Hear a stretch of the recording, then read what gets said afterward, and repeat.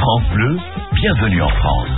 Et bienvenue dans le sud-est de la France. On vous emmène près de la mer Méditerranée ce dimanche dans la cité phocéenne, cap sur la région PACA, au cœur de l'emblème d'un savon pétri de vertu et de bienfaits. En direct de Marseille, depuis la plus vieille et la plus grande savonnerie de France, la savonnerie du fer à cheval. Son président est en ligne avec nous. Raphaël Seguin, bonjour. Bonjour. Président de cette savonnerie en activité depuis 1856 et toujours à son emplacement d'origine dans le 14e arrondissement de Marseille.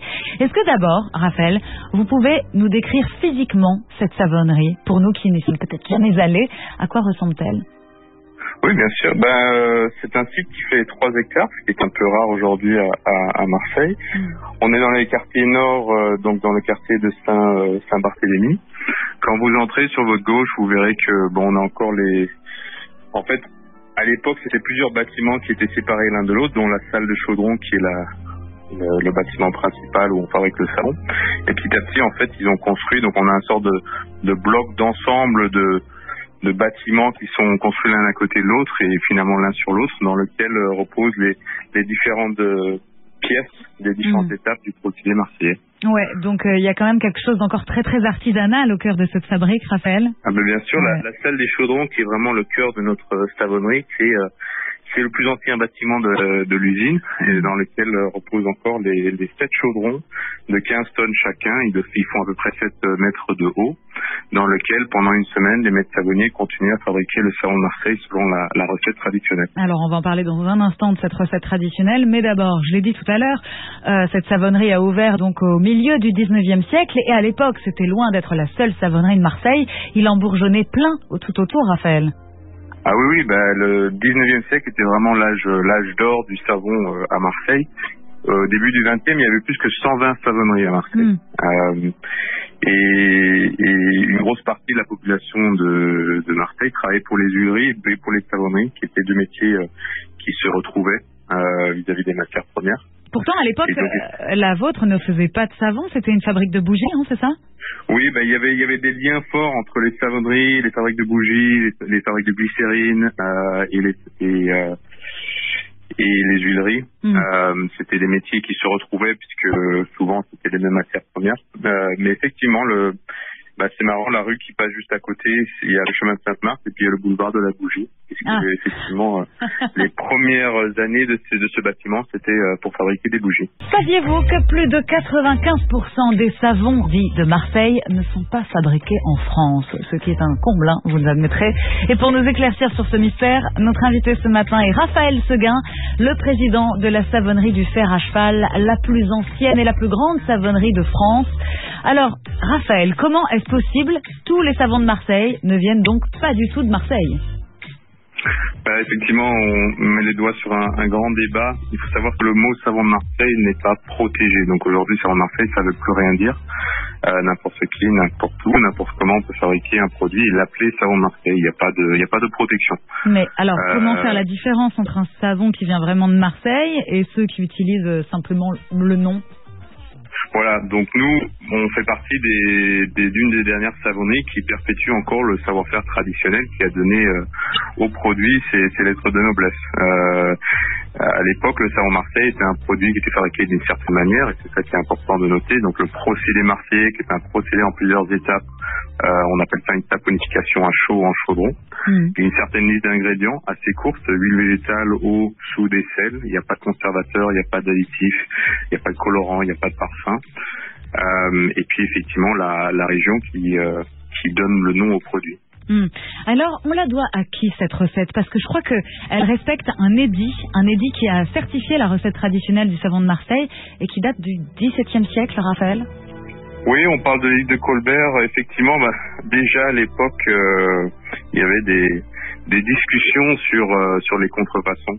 Euh, Oui. et donc, c'est pour ça que ce ligue a été mis en place dans lesquelles certaines règles ont été ont été euh, ont été indiquées euh, vis-à-vis des ingrédients, par exemple, euh, de l'huile d'olive. Il y avait même à l'époque euh, une notion de temps. Quand est-ce qu'on pouvait fabriquer le, le produit? Il faut savoir qu'un le temps Marseille n'a pas de, de conservateur, donc c'est un produit qui va continuer à vivre si on le laisse dans un environnement chaud humide, il va, il va rester mousse. D'ici dans le sud, il fait souvent sec, donc au contraire, il va durcir. Mm. Et c'est ça, et à la savonnerie de fer à cheval, on, dit souvent que le savon Marseille est, est vivant. Euh, parce que c'est un produit qui va continuer à évoluer dans le temps. Un produit qui n'a pas de date d'expiration, un, savon, un, savon de Marseille traditionnel peut durer euh, pour toujours. Chacun est unique, euh, évidemment. Et puis le savon de Marseille a aussi mille et une vertus. Il est multi-usage. Que peut-on faire avec ce savon, Raphaël, hormis se laver? Parce que ça, ça.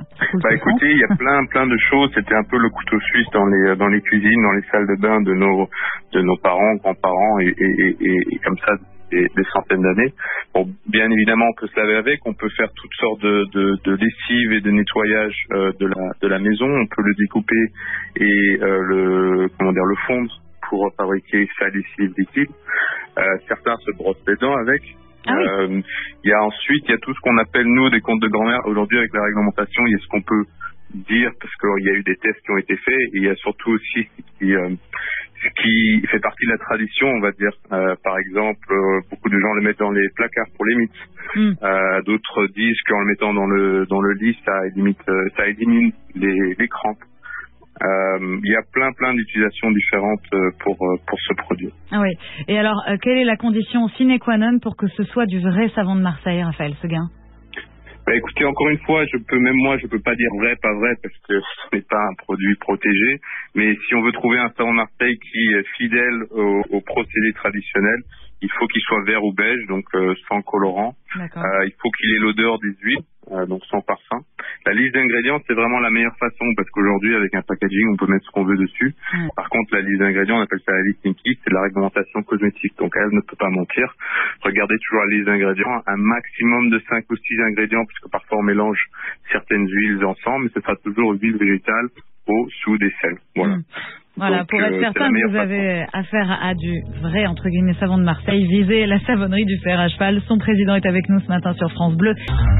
Et on commence cette journée sous le soleil de Marseille, puisqu'aujourd'hui France Bleu vous invite dans les coulisses de la fabrication du savon marseillais.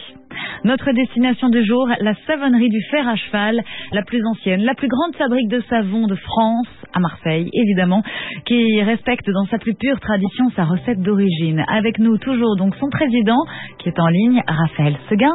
Alors, déjà, Raphaël, comment devient-on maître savonnier? C'est comme ça qu'on dit.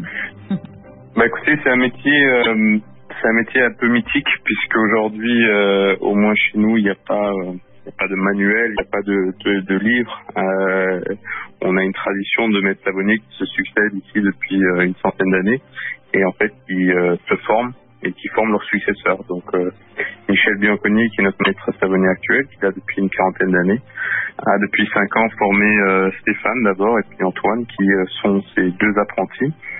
Et ça s'apprend sur le terrain, ça s'apprend en, vivant, en, en travaillant et en voilà, en suivant. Oui, se crée de manière tout à fait artisanale. Il y a combien de maîtres savonniers, du coup, au fer à cheval?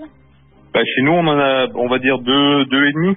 Euh, Stéphane a fini sa formation il y, a, il, y a, il y a un an et puis Antoine est bien parti. Donc euh, l'idée, c'est effectivement qu'on ait plus, euh, plus qu'un pour s'assurer que si jamais il y a un problème, on, puisse continuer à fabriquer du savon. Et alors, est-ce que vous pouvez nous éclairer sur le, le nom de cette savonnerie, puisqu'on a du mal à voir le lien entre un savon et un fer à cheval Pourquoi? la, la savonnerie aujourd'hui s'appelle fer à cheval, mais fer à cheval, c'était une marque qui existait euh, une grande marque de l'époque qui n'a pas toujours été, euh, comment dire, euh, basée sur le site actuel. En fait, le site actuel a, a été détenu par plusieurs grandes familles euh, marseillaises qui, à tour de rôle, ont apporté leur marque.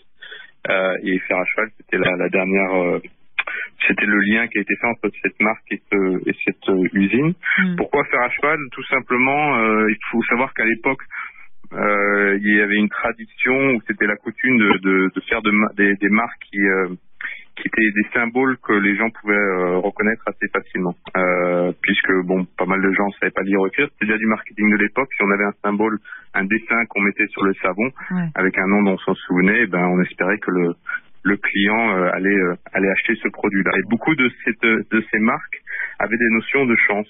la Sainte ah bah Famille, la Bonne Mère, le trèfle, le lapin, etc. Et euh, ben, Fer à cheval a été assez chanceux puisque finalement c'est une des marques qui a, qui a, survécu. Et voilà, le fer à cheval. On parle de l'époque 1856, donc effectivement tout le monde ne savait pas lire et écrire à l'époque. La savonnerie du fer à cheval, authentique et historique, 160 ans de recettes traditionnelles au cœur de Marseille. Merci beaucoup Raphaël pour la visite. J'en profite d'ailleurs pour préciser que les visites qui retracent l'histoire du savon de Marseille et ses secrets de fabrication ont lieu tous les mercredis après-midi en temps normal. Donc ça reprend la semaine prochaine à la savonnerie? Ben voilà, je ne veux pas m'avancer, mais je sais que dès que dès que le gouvernement nous l'autorise, on, relance les visites, exactement. Eh ben, on croise les doigts pour vous. Merci en tous les cas de nous avoir fait voyager à travers le temps pour remonter donc aux origines du savon de Marseille.